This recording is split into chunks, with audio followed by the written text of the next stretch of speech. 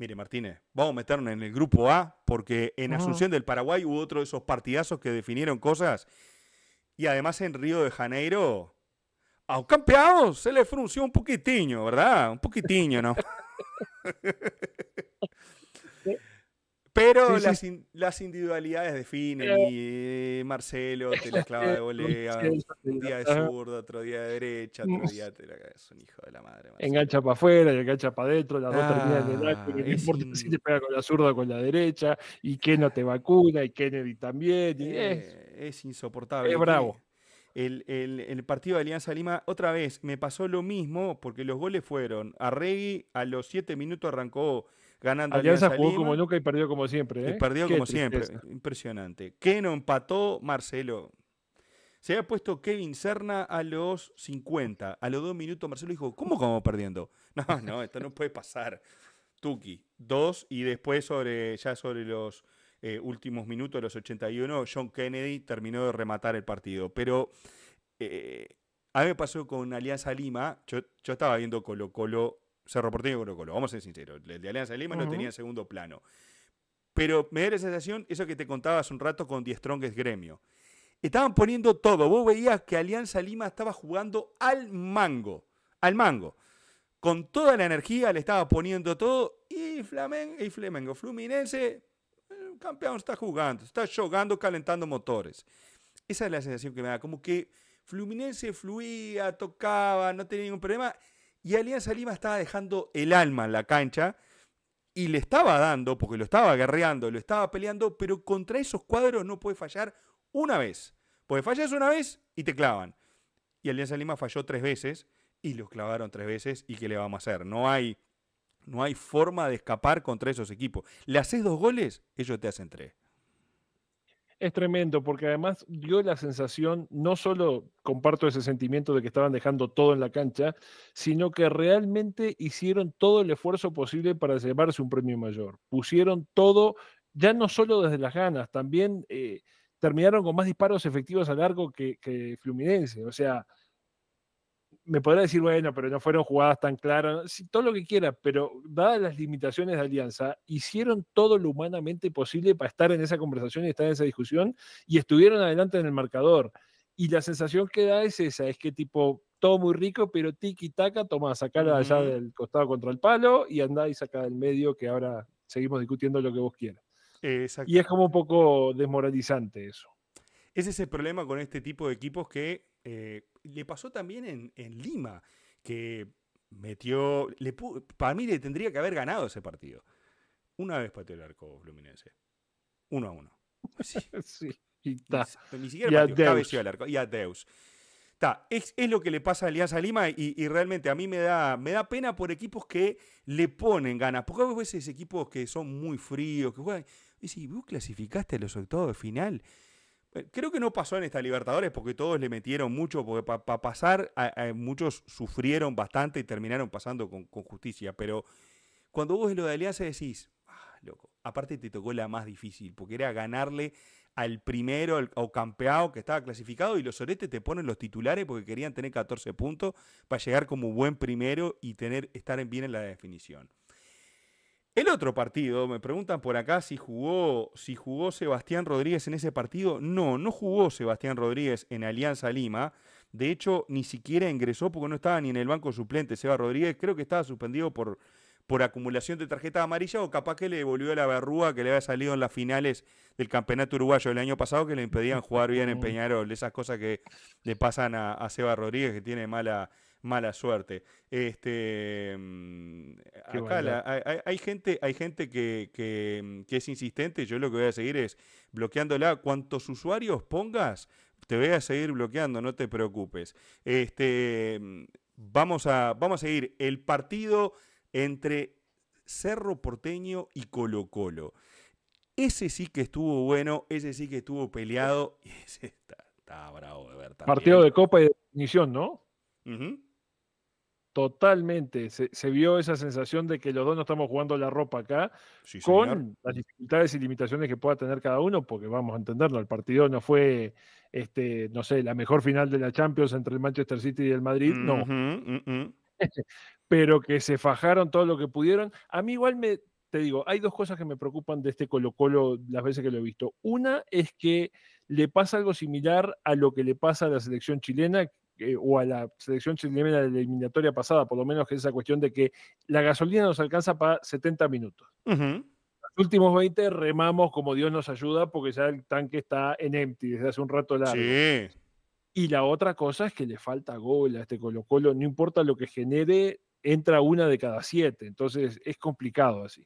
Eh, que de hecho la que entró fue de penal y, mirá que tuvieron oportunidades, porque en el primer tiempo yo recuerdo una de Paiva, que es la primera que se le adelanta al compañero que venía atrás tocando bocina y define mal por arriba. El tiro libre de Palacio que la saca Jean del ángulo, creo que esa fue la más clara de todas. Y después hay una de Palacio que eh, Brian Cortés descuelga el centro en el córner, saca con el pie largo y, definió por arriba de Jean y la pelota se va a un metro del, palo. Vos decís, vos, no seas malo, esto para rematar acá, eh, lo tenés ahí para liquidar el partido. El penal fue bien cobrado, me sorprendió el, el arbitraje de Wilmer Roldán Salvo que se comió la roja directa de Benítez, para mí fue impecable el arbitraje del colombiano. No, no, hay, no hay nada para reclamarle, por lo menos desde nuestro punto de vista, ¿no? Capaz que viene un hincha de, de, Cerro Porteño y se nos metieron la mano en el bolsillo, no me parece. Eh, y a mí me pareció que Cerro Porteño le tenía pánico a las bandas. Se ve que por ahí hay zonas que están prohibidas no tenía desborde y era todo por el medio, por el medio, por el medio. Por ahí llegó el gol del Pachi Carrizo, que lo vimos hacer un gol otra vez, eh, desde que... este, y después en el segundo tiempo no se le cayó una sola idea. El, al técnico de Jiménez se le ocurrió poner a Aguayo, el muchachito ese, por derecha para ver si desbordaba a alguien, porque se acordó que había que abrir la cancha. Y yo no tengo que se terminaron muriendo de nada porque le metieron, fue el arquero al área, tiró, el Jean los empujaba todo pero llega un momento que decís, vos, ya no sé cómo te puedo ayudar, ¿viste? Eh, eh, no había forma de que le pudieran patear al arco, invocarle a los 7.32 por 2.44 de Brian Cortés. Esa jugada que vos decías, la del saque largo de Cortés y que le queda terminando creo que a Paiva mano a mano, este, porque se durmieron los dos centrales y picó habilitado, ese es el claro ejemplo de un equipo al que le falta gol. Paiva, esa la tenés que mandar a guardar de cada 199 veces. No puede ser que, esta sea justo la que le arrastre. Tiene que terminar en gol de una manera o de otra. Hacer un enganche, pegarle mejor de primera. Si vas a tirar el globito como el gol del, Pachi Carrizo, que entre, como entró el Pachi Carrizo. Correcto. Ese tipo de cosas, cuando tenés eh, este tipo de oportunidades, este tipo de partidos, no te pueden pasear y a Colo Colo le pasan con frecuencia. Y lo mismo que venimos hablando desde hace un buen rato con varios de los otros equipos. Este mismo tipo de cosas contra Fluminense te cuestan la eliminación. porque Fluminense no te las perdona.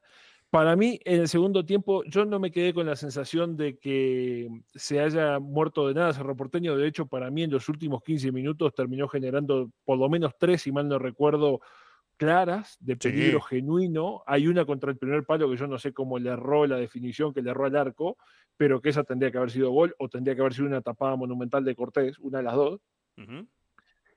Y por lo menos Dios a mí me dejó esa sensación Cerro Porteño de que es consciente de lo que se estaba jugando e hizo todo lo que humanamente pudo por tratar de invocar la segunda bocha que le dieron los tres puntos. No se le dio, no alcanzó, pero el partido terminó precioso y te digo, a mí me dejó con la sensación de que Colo Colo otra vez terminó con el motor fundido, físicamente echando el último recito que le quedaba, y a Cerro Porteño le faltó el puntillazo para poder llevarse los tres puntos en los últimos 10 minutos, porque los últimos 15 minutos daban la sensación de que era, si emboco una, el que hace el gol gana, se terminó acá el partido. Es que sí, de hecho, el partido cuando arranca, el que entra clasificado es Cerro Porteño, porque el 0 a 0 le servía. Más allá de que iba ganando Alianza Lima y eso lo, lo complicaba. Pero uno dice, Alianza Lima como momento va a terminar perdiendo el partido. Entonces, más o menos lo que le pasó hoy a Independiente del Valle, que decía, en cualquier momento va a ganar Palmeira. Ahí no sucedió eso. Él no le dio la manito a, Independiente del Valle. Pero cuando Colo Colo hace el gol, pasó lo mismo que le pasó a Estudiantes, activó el botón de pánico. Y, lo de Cerro Porteño dijeron, che, ya con el empate no nos sirve, no nos alcanza con el 0 a 0. O fíjate que este grupo nadie le hizo más de un gol de diferencia a su rival, si es que no terminaron empatados. Fueron dos partidos cerradísimos e ir perdiendo 1 a 0. Es casi un certificado de loco, acá se te terminó la copa. Y bueno, y fue así que cuando viene el empate Cerro Porteño y tiene todo el segundo tiempo para darlo vuelta, Colo Colo se repliega bien, le cede la cancha, porque también esa es la otra. Eh, Colo Colo dijo, bueno, está bien, no vamos a hacer un gol, porque hoy ya hicimos uno, ya cumplimos con la cuota de goles por partido. Almirón dijo, muchacho, denle la pelota que no saben qué hacer. Y básicamente eso fue lo que sucedió. No supieron qué hacer. Jiménez sacó al Pachicarrizo cuando estaba más lúcido en la cancha y lo termina sacando por este aguayo que les decía. Y terminó eh, no muriéndose de nada porque creo que la agarreó, la peleó, pero se quedó sin recursos porque a Churín no le tiraron un centro como la gente para que pudiera cabecear. y también la defensa de Colo Colo estuvo muy efectiva porque se fajaron marcando, se rompieron el traste y el uno a uno, y bueno, queda justificado en el balance de un primer tiempo a favor de uno y un segundo tiempo que en intenciones estuvo a favor de otro, más allá que Colo Colo pudo llegar a controlar en algún pasaje. Por supuesto, al final se te van a venir, te van a llevar de centro. Y como decían por ahí en los comentarios, era muy gracioso ver este, a los hinchas de Colo Colo. Gracioso para él. La verdad que bastante, bastante complicado. Claro, vos ves que va el árbitro al bar y mientras los jugadores de Cerro Porteño protestaban un penal que yo no vi, hubo una pelota que le pegó en el pecho al peluca que le sacó casi en la línea y lo que, lo que le estaba diciendo el VAR era que el amigo Benítez se había mandado la patada de esta fase de grupo de la Libertadores. Debe haber habido otras, pero por lo menos esta última fecha, la patada más espantosa de, sí, sí, sí, de ir a la comisaría. Usted, señor, no tiene nada que hacer acá. Vaya mm. a, a, hablar con el comisario. Este, y bueno, se le terminó se le terminó el partido, ni, ni protestó, por, por, supuesto, ¿no? Porque él sabía lo que había hecho. Si no lo quebró el Peluca Falcón es porque el Peluca Falcón no estaba firmado en la cancha como correspondía, pues si no lo partía al medio. Totalmente, sí, sí. E, es más, e, estos son el tipo de cosas que uno dice, bueno, cuando a la hora de evaluar suspensiones se debería considerar y coser aparte este tipo de, de actitudes porque totalmente mala leche, eh, con mala intención, eh, exponiendo la salud del, compañero de trabajo, en definitiva. Claro. aparte, fue, vos lo ves que lo mide. Lo mide y le tira. vos decís, para. Lo, agarrarle la camiseta, barrete y tirale la patada. Hay mil formas de poder pegarle. Y, y, si lo tocabas, el peluca Falcón se iba a desparramar, porque era la última jugada y se terminaba ahí el partido. Ya estaba tirado en el otra área. ¿Qué vos decías? Este, está. Bueno, pero fue una locura. La cuestión es que creo que Colo Colo en suma ganó bien, se quedó con el puesto de Copa Libertadores, Cerro Porteño irá a jugar a 16 avos de la Sudamericana y el equipo de mm, el equipo de Alianza Lima se queda sin nada. Eso es el para resumen. Mí, sí. Para mí la preocupación grande para los colocolinos debería ser que en un grupo que a priori no era de los más pesados ni de los más eh, duros de, la, de todas las Libertadores, cuatro goles convertidos en seis partidos es señal de alarma. Si querés avanzar de octavos, algún botón va a haber que apretar ahí. Sí, señor.